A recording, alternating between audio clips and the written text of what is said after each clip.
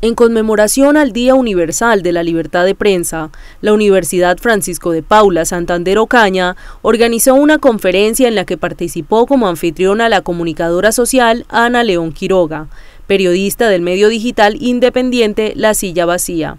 donde se enfocó en mostrar las movidas de poder en Santander y norte de Santander.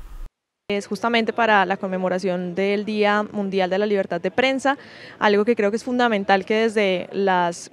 escuelas impulsemos en la medida en la que esto nos lleva a recordar, por un lado, los retos que tenemos como periodistas y también los deberes, las responsabilidades en función de, hacer del periodismo cada vez más una, una labor ética, una labor de responsabilidad social eh, cargada de imparcialidad. La ventaja que tenemos algunos periodistas que hacemos eh, reportería en lugares de conflicto, pero que no vivimos en ellos, es justamente que no estamos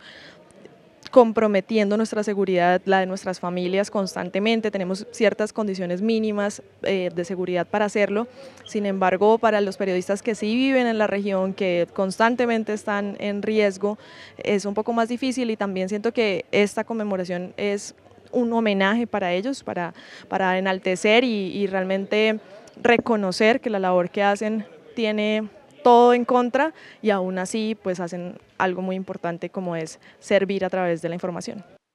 En el evento también se realizó un acto cívico en honor a los periodistas asesinados en el Gran Santander, según las estadísticas de la Fundación para la Libertad de la Prensa.